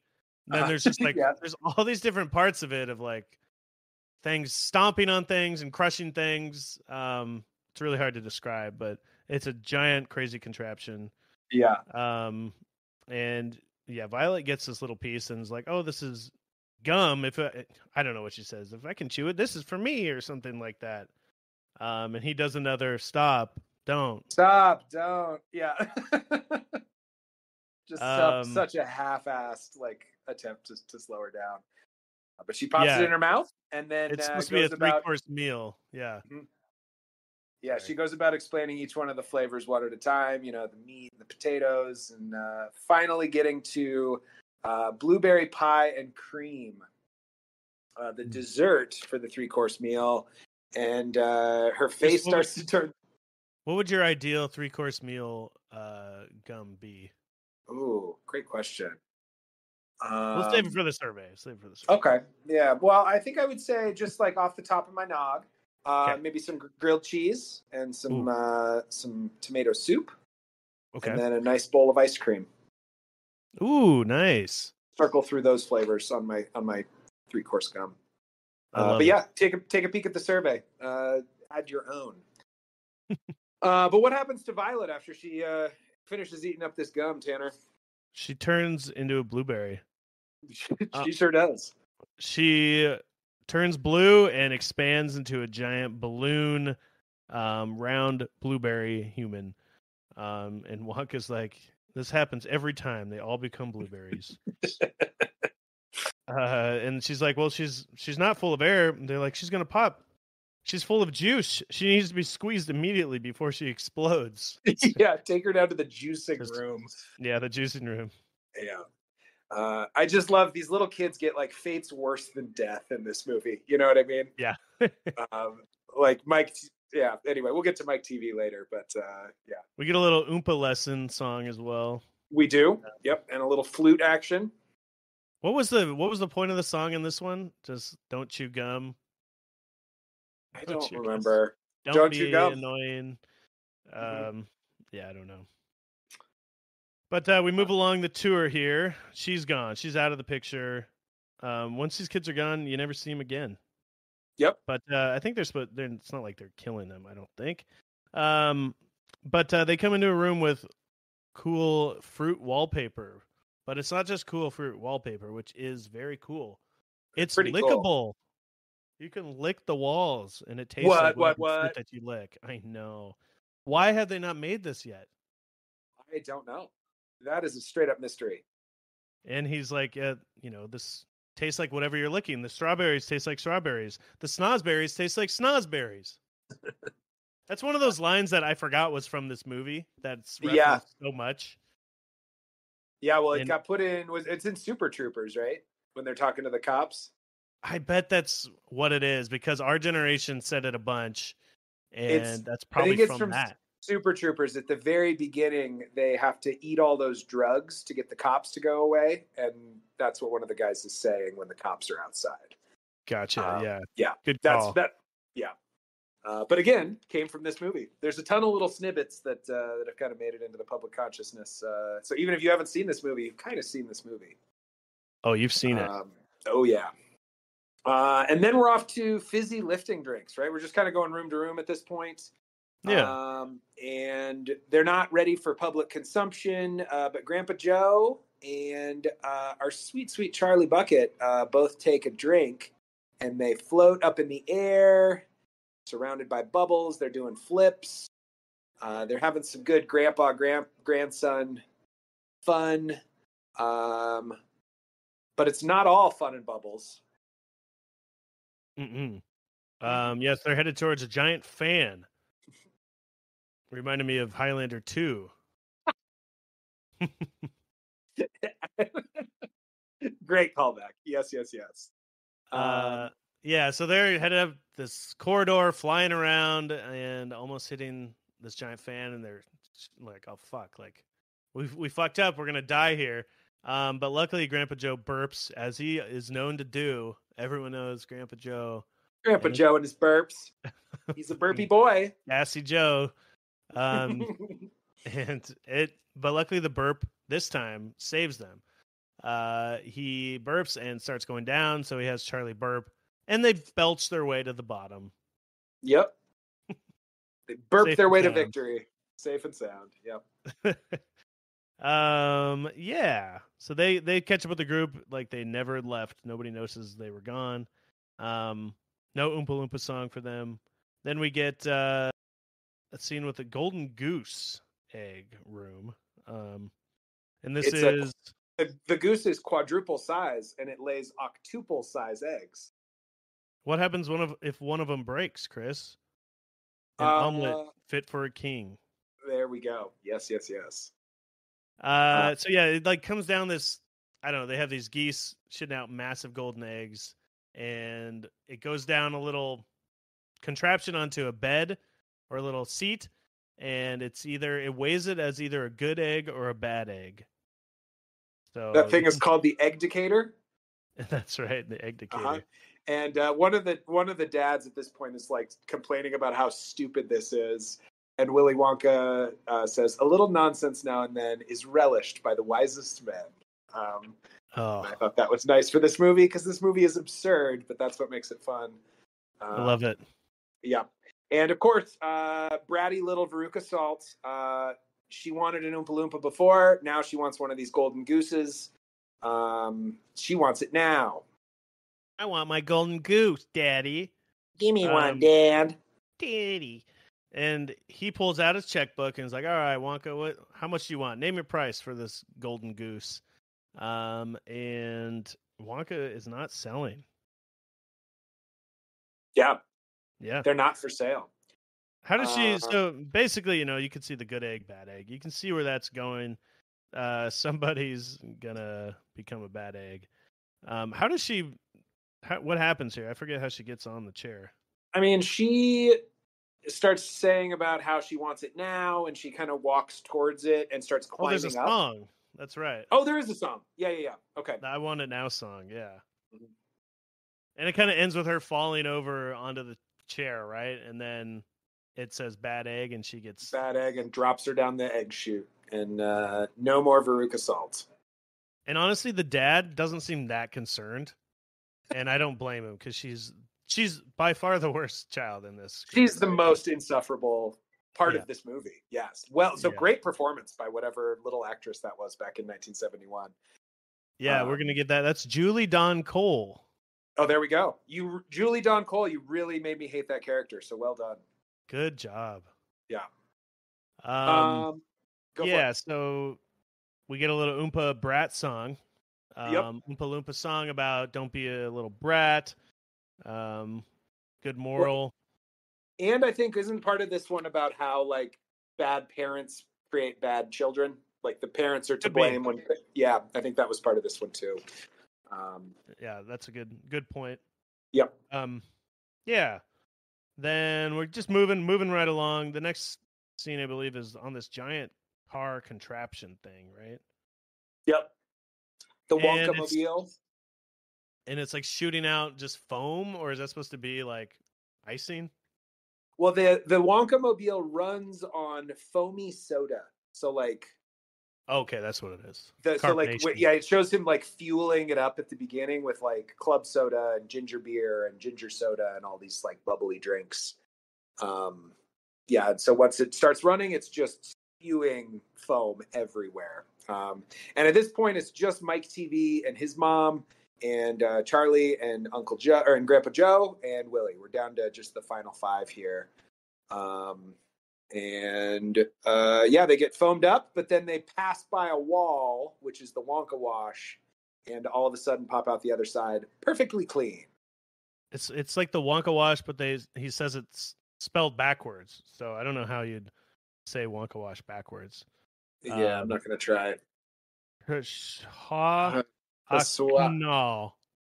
Asawa Kana. There it is. Nailed it. Uh, So uh, Yeah. we're out of that room um, and off to the Wonka Vision room. this is very cool. Um, And uh, yeah, I love the visuals on this. They put everybody in these funny like white suits, and they bring out this enormous Wonka bar because everything on TV looks smaller, so you have to start with a Wonka bar that's bigger. Uh, but Willy Wonka is has has been working to send chocolate bars uh, over like TV waves to your TV, and we get yeah, a demo of that. Just, I mean, they make it about TV, which is weird to me. But it's basically yeah. he just he invented transportation, like teleportation. Uh, teleportation, yeah. Yeah. Um, but they do make it all about like TV waves specifically. Yep. Um, which made me think like it'd be so cool if you could see an item on TV and just buy it, and it just, you know, comes into your TV screen and you have it. it was just there immediately. Just there immediately. Call Jeff Bezos. Um, I'm sure he's working on it. Yeah. yeah. Um, but uh, yeah. So what what exactly happens here? Well, Mike Mike Teevee decides he wants to be the first person sent through TV waves. Um, so he runs up, and once again, Willy Wonka's like, "No, stop! Don't do it! Come back!" Uh, but he gets sent through, and now he's super tiny. He's super excited about it too. Like this made his day. It's the best thing um, that ever happens to me. Yeah, That's ever yeah, happened yeah. to me. I mean, and then this is the thing I, I was talking about before. Uh, as as far as like a punishment worse than worse than death, they send him to the taffy pulling room to stretch him back out to normal size, which oh, is a, a great great resolution to that little bit. Yeah, um, so they I love the they shrink him and they have all sorts of unique filming techniques here. Like, um, oh well, there's some sh- shots where they pick him up and it's obviously like a little doll or something. Um, but then they have like the forced perspective thing where he's tiny right there, and also when it's looking out from behind him out, um, it's just like a, it's like his mom is on a giant screen in front of him to make her look bigger. Um, just a lot of inventive filming techniques, I thought during this scene. Yeah, um, for for a movie that was produced in order to sell chocolate bars, this movie is so much better than it could be. You know. Yeah, I mean, I think I don't know if it's produced to sell chocolate bars, but they that's how they they got the financing. That, that's where their yeah. financing came from. Right? Yeah, yeah. This could have been a way bigger. This genius, and it's yeah. it's just yeah, it's got all these great little moments. Yeah. Um, and then we get the final Oompa. They call him a puzzle. I don't know if that's supposed to be, but a, a little lesson from the Oompa Loompas about not watching TV and reading books. Yep. Um, and uh, the tour's over, I believe. Yeah. Yeah, that's it. So uh, Charlie and Grandpa Joe are the only people left, and as Wonka is walking them out of the office, he's like, for sure, giving them the cold shoulder. He's acting like kind of a dick, um, and uh, Grandpa Joe is not having that because he was he, you know, uh, Charlie was promised a lifetime supply of chocolate, and uh, Willy Wonka seems to be going back on that. He is a a con man. Uh, this is not acceptable. So they barge into his office. Uh, his office also is insane. It has a bunch of weird pinstripes and like half things. Like yeah, half everything is in half. Yeah, like do you half know a that half a lamp. Was there is there meaning to that, or is it just a weird thing that they thought up? I think is it's there... just a, a, weird thing. Yeah. Okay. Like the safe is just in half. Yeah, everything's in half. Yeah. I don't know. Okay. I didn't. I didn't pick up on any meaning. I, I just maybe there's a pun or something that I'm missing. I'm not really sure. Uh, You'll probably it's another weird, another weird character thing for a weird character. Yeah. Um, and uh, basically, uh, because they had drank the the fizzy bubbly water, uh, they had rescinded their rights to the lifetime supply of chocolate, and uh, they need to get out of the factory now. Um, yeah. He says, you know, you don't win, you failed because you you drank the bubbly water, um, you broke the rules, um, and you know, basically, it's okay to give. You like, get nothing. You lose. You nothing. Good day, sir. yeah. So they start to leave, and I think he mentions something about Slugworth or something, right? Um, or about the gobstopper. And so Charlie has a change, you know, not a change of heart necessarily, but he's like, oh shoot, like I'm not going to sell the the treat to uh, Slugworth to Slugworth, and he gives the gobstopper back, which da da da da was passing the test. That was the test all along. That's right. Um, and he's so happy. You know, you gave it back. You're not gonna rat me out and sell my secrets. Um, which means he's pure of heart and a good Oh. kid. Yeah, I He's know, the- so sweet. Oh, sweet little Charlie Bucket. Little bucket, sweet little bucket. Uh. Um, and you find out Slugworth comes in, and it's not Slugworth at all. It's uh somebody that works for him. Um, he was a fake the whole time. That was the entire test. The test was, are you going to rat me out or not? That's right. Um, and he says, "Come, come, we have so much time and so little to do. Uh, strike that, reverse it." Uh, and so he's all excited. Charlie's gonna get uh, a lifetime supply of chocolate, and but he's like, "And that's not all. Follow me into the Great Glass Wonkavator."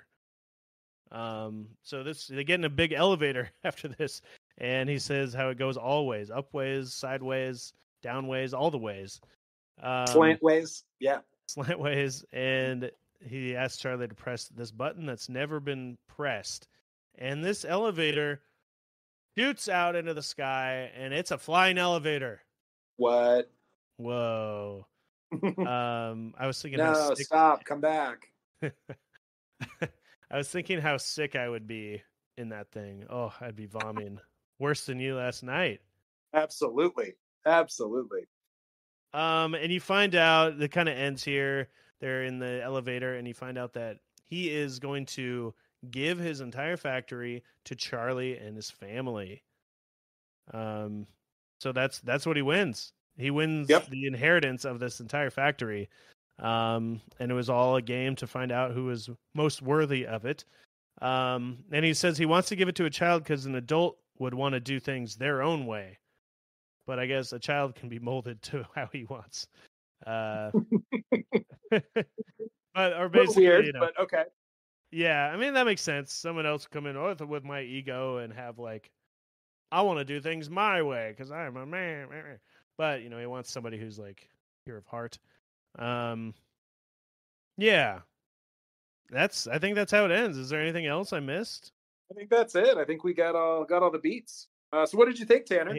Well, the last line of the movie is uh, don't forget the man who suddenly got everything he ever wanted.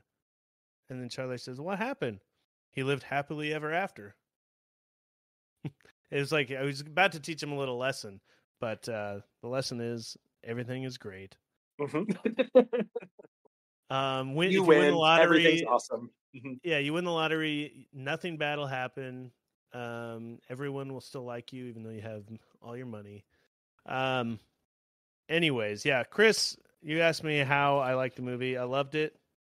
I loved it. I don't know what else Great. to say. I mean, I've seen Yes. it many times.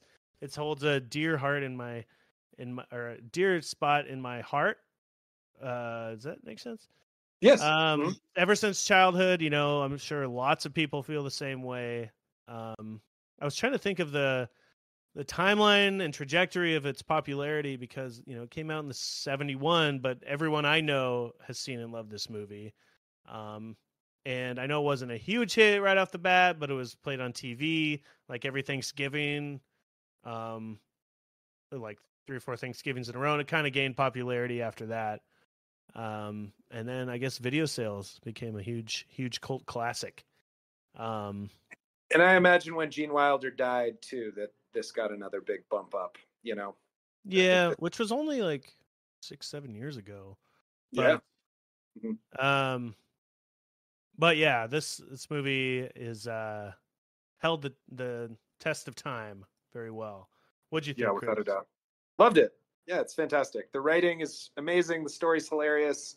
It it's like I also just love that this whole movie, the whole story is built around food because as a viewer or reader, it's it's just so it it pulls you in with all these funny names and these like you're imagining these smells and these tastes and stuff as you're going through these things. Uh, and it's just such a such a fun way to tell a story. I think it's it's really really great. Yeah, Um, it's fantastic. I know that Roald Dahl um disowned the movie. He didn't like it. I think because maybe it was too like too kiddie, you know. Right. But and sometimes with that, I could see it being an issue. But this movie still pulls it off very well, you know. Yeah.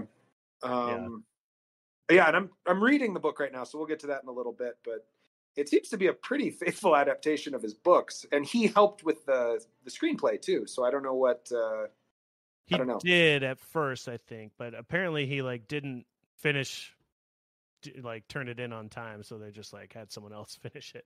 Yeah, oh, I Um, see. Maybe that's why he like doesn't like that. it. Maybe that's why he Yeah. doesn't like it. Yeah. Something like that. Yeah, I think it just wasn't exactly. It's an adaptation, you know. That's Sure. every adaptation gets changed a little bit. Um, but uh, yeah, we we usually ask in a movie like this, Chris, is this timeless or a time capsule? I think I know your answer. It was timeless, without a doubt, for me. Yeah. Absolutely, One of the best kids movies of all time. Absolutely, definitely, yes. Yeah. Um, yeah, it's just there's nothing else like it. Still, you know, it's just so original, so unique, so fun, funny, um, crazy, and it's got all the, all Whimsical. the things. Yeah, it's got everything you want. The music holds up. It's great. The performances are great. Um, I can't say enough about it. It's a five out of five. Do you have any beef with this movie? We usually do like a little uh, MVP or beef. Um, you got any, Um, anything you would do different? Maybe Johnny Depp instead of Gene Wilder. Would that be your first? That's change? well. That's what I was thinking. Yeah, that's exactly what I was going to. No, I think the only beef. It's not even beef, but I didn't realize. I forgot how long the opening was. Like the the scene with the family. just the all the beginning of it was like um the first hour of the movie so you don't see wonka or maybe like 45 minutes of it you don't see wonka Sure. until 45 50 minutes into the movie probably halfway and it just to me i didn't i forgot how long all that was um because it seems to me like you just oh you get a few things at the beginning and then you're right there in the uh in the chocolate In the bar. factory. Yeah. Yeah um that's my only thing it's not beef do you have anything I wish the movie had ended with Charlie pushing the button.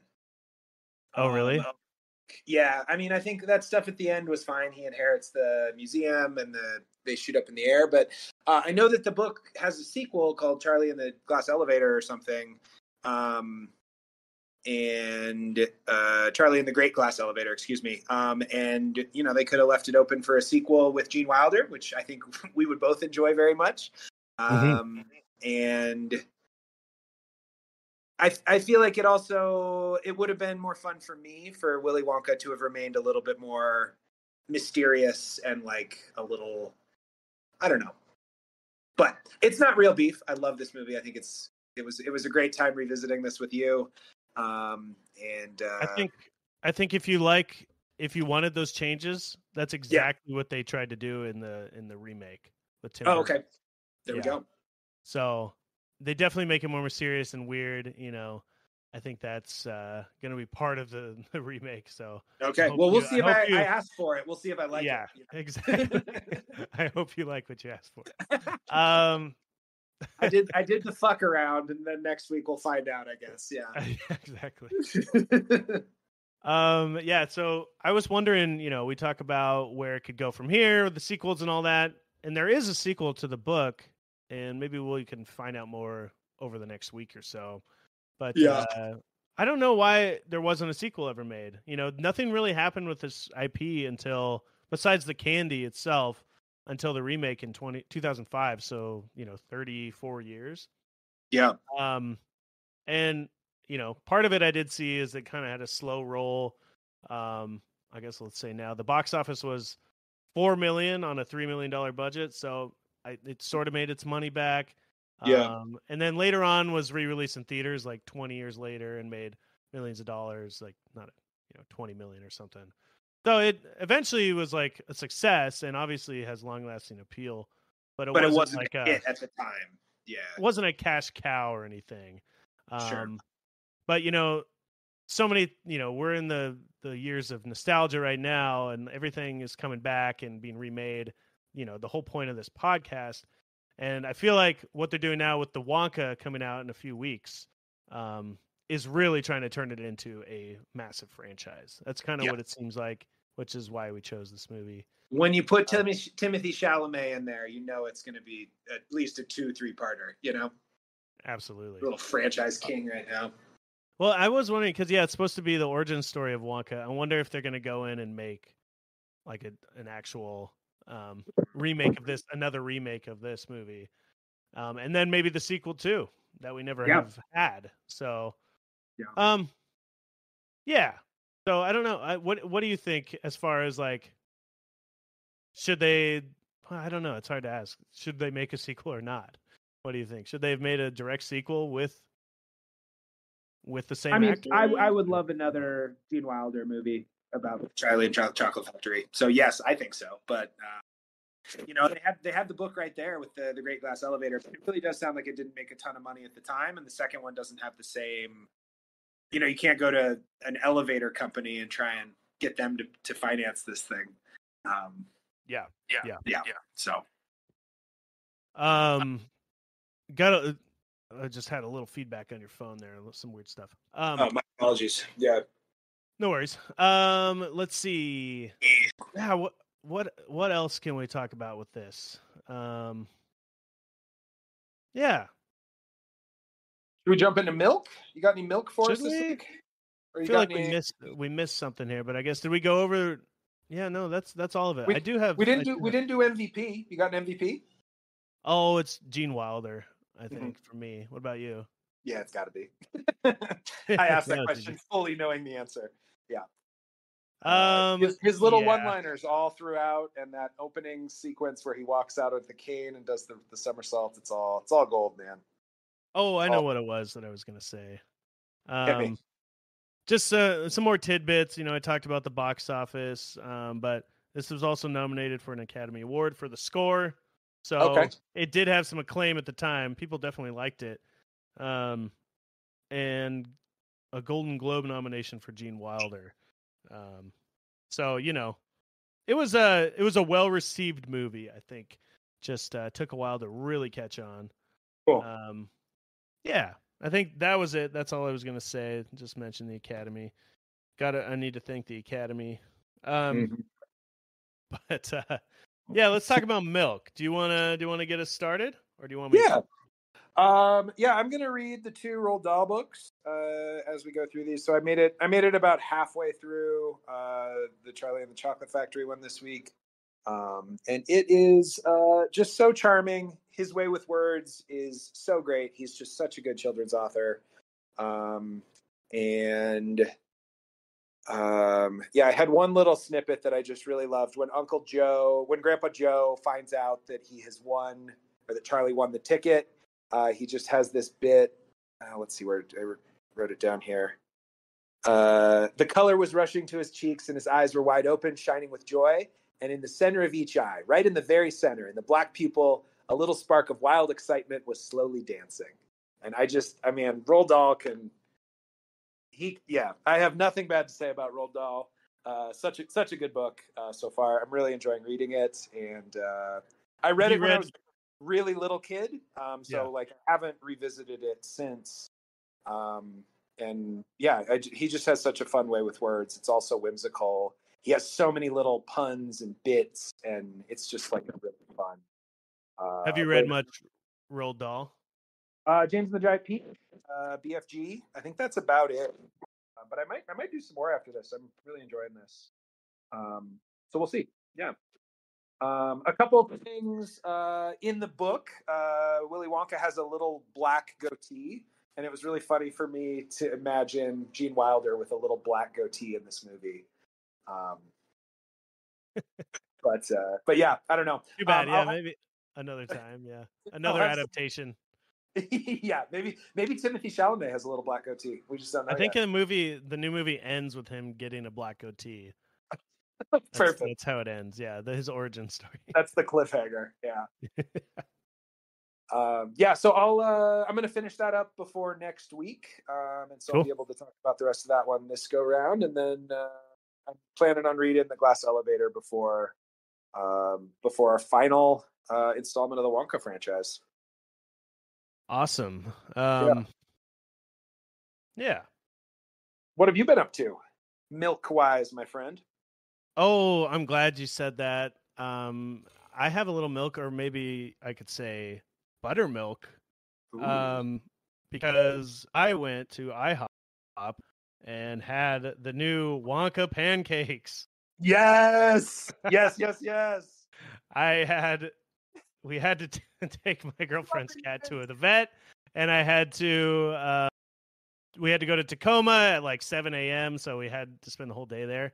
And I was uh, like, let's go to IHOP for breakfast. I want to get these Wonka pancakes before I forget. Um, and I just sent you a bunch of photos if you want to look through those. Me documenting oh. me, myself eating them. yeah, but uh, basically, it's just uh, it's a it's a movie tie-in at at IHOP and the I only got the pancakes, which is drizzled in purple uh, cheese, uh, purple cream cheese icing. It's got cheesecake mousse in there. It's got uh, whipped cream and gold edible sugar on top. Um, wow! And honestly, it was pretty delicious. It's just like a really cheesy, cream cheesy, desserty, delicious pancake. Okay. Um, and there's all sorts of things like the Wonka burger. I might try to go back and document all these things. There's like little chocolate taco things, little pancake tacos. Uh, and the craziest thing on the menu, which the guy was like, "Do not order that." The the worker basically told me to not order this thing because it's really annoying. It's like this pink lemonade drink uh, that has um it's like sprinkles on the side and then a big thing of cotton candy on top. Oh my so, gosh. Cream cheese icing, rainbow sprinkle rim, and topped with a cloud of cotton candy. uh, yeah. So Yikes, there's also, in case I don't make it back, scrum do- scrumdiddlyumptious strawberry hot chocolate, um, which is probably pretty good. The Wonka yeah. burger, it like it sounds gluttonous and good to me, but it, I don't understand how it has any Wonka uh tie-in at all. I'm looking at your screen. It just looks like a burger with a lot of stuff on it. Yeah. It's got tomato, onions, pickles, uh, four cheese, avocado, two strips of bacon, hash browns, IHOP sauce, and a ranch drizzle. Um, what but, part of that is Wonka? I don't know. Maybe just that it's has so many things. It's called the Fantastical Wonka Burger. Okay. Um, I feel like they should have made the buns with... purple or something you know? Oh, 100%. That's what I was and, thinking. And then you're there, you know, just like look at all these color. other other desserts. It's like has all these crazy candy additions to it. You got yeah. the the daydream berry biscuit, which is purple drizzle. That's all you need. Get some purple drizzle on there. For real. Yeah. Or even do like the like dye the ranch purple. You know, yeah, something... just make make it make it Wonka sauce and it's got purple sauce on it. Yeah, instead Done. it's IHOP sauce, but it could just be Wonka yeah. sauce. Yeah. Um yeah, this is just like a I don't know, a berry biscuit, chocolate tacos, strawberries, and a chocolate taco thing. Yeah. And then the Wonka's perfectly purple pancakes, which is what I had. Which is what you so, had. Okay. Anyway, Great. this is just a, a Tanner, fun... this is this is maybe my favorite moment in our entire podcast that you went to IHOP and uh, I get to listen to you tell me about the Wonka menu. it was delicious. I hope you enjoy my photos as well of me eating at seven in the morning print them um, off and, and, put them up in my apartment. That'd be okay. Don't do that. That's a little creepy. A little too no, much. Uh, okay. Oh, I'd like it actually. No, um, yeah. So that's that. Just a shameless. I don't know if it's shameless. It's just kind of a funny. So basically, when I saw that, I was like, "This is where the Wonka franchise is going." You know what I mean? It's becoming yes. like a put it on anything you know, a tie-in, cash grab tie-ins to all these different restaurants or places. Um, I believe there's a, a new candy it, coming out that's supposed to go along with the movie as well. What's it's going to be like the McRib at some point, where a new Wonka movie gets pooped out, and then then you know, 15 restaurants come out with purple drizzled stuff. Yeah, exactly. Yeah. um, yeah. Every year, get your your Wonka pancakes. Um, but uh, yeah, and I also saw this new movie is like a, a Christmas movie, which I just I don't know. I guess now it's a Christmas franchise. Um. Oh. Anyway, yeah. So that's that. Um. That's my buttermilk of the week. You like that? I love it. Love it so much. Yeah. I've been it was planning that all week. yeah. Um. but uh, I do have one little piece of milk that I watched half of, and I won't be continuing. I don't think. Uh, But I watched- get to that, did you say you had an apology for IHOP earlier? Oh, you're right. I'm sorry. Can we get that out of the way here? Oh, I'm so glad you reminded me because I I was so upset about it after last week. I looked up something I said, and I was just totally wrong. I had mentioned on the last on last week's podcast that um, IHOP had officially changed its name so that the IHOP doesn't stand for International House of Pancakes anymore. And I had I had said that it just is IHOP and now it means nothing. There is no acronym, right? Do you remember me Sure. talking about Yeah, that? I do remember you talking about that. Um, and so I was totally wrong. So what that was KFC that did that, which KFC does not actually stand for Kentucky Fried Chicken anymore. It's just They KFC. changed it to Kitchen Fresh for a hot second. yeah, and now I think it just doesn't Yeah. mean anything, right? Technically, Yeah, I think you're right. Yeah. according to their lore.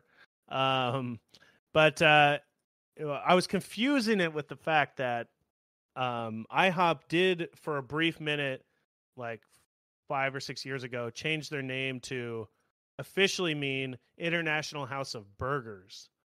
I Um, remember that happening. Okay. Yeah. So this is where I got it all confused. Mixed that up with the KFC, um, and that was just to promote maybe for like a week or two. Like they had some, they're trying to promote. You know, you can come here for burgers and dinner as well. It's not just pancakes. Um, so that was just a marketing stunt that they did. Honestly, super stupid marketing stunt, but I Yeah. still remember it, which means it was a very effective marketing stunt, you know? And you know, now I know I can go to IHOP any time of the day. It's not just for, you know, late nights after the bar or early mornings in Tacoma. That's right. Um, Tell them Chris and Tanner sent you. Exactly. You get a free uh, dollar off any burger. Um, that's not true. You're I'm not paying Anyway, for uh, I that. Maybe, feel like a maybe weight give you some purple drizzle to put on your pancakes or hash browns or whatever. ah, for drizzle. Yeah, Mhm. I uh, I feel like a huge weight lifted off my shoulders right now. Um, it'd been weighing on me for seven straight days. I'm Ugh. glad you could come clean here on the air. I hate when I precious say something like fact like that on on this, and like it turns out to be untrue, like the Lusitania. Um, anyways, um, You fixed that one in real time, though. Yes, exactly. I'm just gonna look up everything I say as I say it now. Um, so we got that out of the way. The apology. The last piece of milk before we end this show is uh, I watched. There is a Tom and Jerry version of Willy Wonka and the Chocolate Factory. Um, did you see this at all? no, I'm listening. Hey, it's just called Tom and Jerry, uh, colon Willy Wonka and the Chocolate Factory. Uh, it's from 2017. It's a full 80 minute animated movie, and it's it's basically I watched maybe 45 to 50 minutes of it, and uh, it's the crossover event everyone was calling for. yeah, it's literally RoboCop just- and Terminator, step aside. It's Wonka and Tom and Jerry. Yeah, except it's literally just a every scene almost beat for beat is a complete remake of the movie. Like every single they do the same lines, the same shots, they go to the candy, like every single scene except for surrounding it is little bits of Tom and Jerry doing their antics. So, Like the didn't really- like Augustus Gloop and Willy Wonka and Veruca Oh, yeah. Salt, but also Tom and Jerry are there. yeah, it's like there's even the opening at the can there's just like a candy factory, same opening. Uh the Candyman song with the kids. Um and then Tom and Jerry are just kind of in the outskirts doing things. Or it's like it's focused on them running amok and hitting each other or whatever, but then around it is the movie happening. So just imagine the same movie animated, same lines even, same jokes half the time. Uh but like sped up and like the scenes are kind of cut in half. But then Tom and Jerry are kind of like making these things fall into place. Like they're getting him a Wonka bar and stuff like that. Okay. Um, and at one point they eat like Charlie's bread. Um, but luckily he has another loaf of bread that he gives to his family. Um, yeah, everything is just a complete remake, but with Tom and Jerry surrounding it, from what I can see. Um, yeah. So Seems unnecessary. it's completely unnecessary. I think the reviews were pretty bad. It's just like why why does this exist? um, but it seems like you know, it's not a it's a direct to video kids thing. It also looks like uh these Tom and Jerry movies. There's a bunch of them, like uh, Tom and Jerry, Wizard of Oz, Tom and Jerry meet Sherlock Holmes, um, Nutcracker, Robin Hood. Robin oh my God, look at all these. Tom Fast and Jerry, and the, the, furry. Fast and the furry. the Lost Dragon. So they So just plug Tom and Jerry into everything. It sounds like it's more of a Tom and Jerry thing. Yes. Oh wait, what'd Yeah. you say? This sounds like less of a Wonka problem and more of a Tom and Jerry problem. Yeah, for sure. I mean, Yeah. it just it's just an example of them using the IP, you know. Oh, I yeah. know. I wouldn't call it in the uh I wouldn't we wouldn't have an entire episode dedicated to it, that's for sure. Yeah. Um so there's that. That exists. That's a thing. Um it's very lazy. Yeah, it just literally just the exact same movie. Um but yeah, Oh, that's that's my milk. It says original movie on it on the cover. That is not true. It's literally the same lines. Even the it- uh, Jerry. There's like a mouse version of the Oompa Loompas as well. I don't know. okay. Um, yeah, so that's a thing that exists. That's all I'm going to know about that. That's all you need to know. It'll never come up again. I promise. Great. Great, great, Um, great. Yeah, I think that's that's everything we got. Anything else on uh, Willy Wonka and the Chocolate Factory, Chris? I think that's it. And we'll, uh, yeah, uh, remember, uh, ch- check the show notes. We like to, to put surveys in there, um, make some jokes with us about uh, Willy Wonka and the Chocolate Factory. Um, fill This out our survey, survey and we'll see you guys next week. this survey is the show. So, you Mhm. know, play along. Everyone's seen it. I don't care if you you don't need to rewatch it to, to tonight right now. You Yeah. can play along. You've seen the movie. Come on. That's my that's my ploy. I love it. Uh, yeah, let's push for it. That's your Um, pitch. That's my pitch. Thank you. That's what I meant to say. Mhm. Um, and yeah, thanks for listening. We'll see you next time on Milking the Franchise, the Cash Cow Chronicles. Moo. Moo.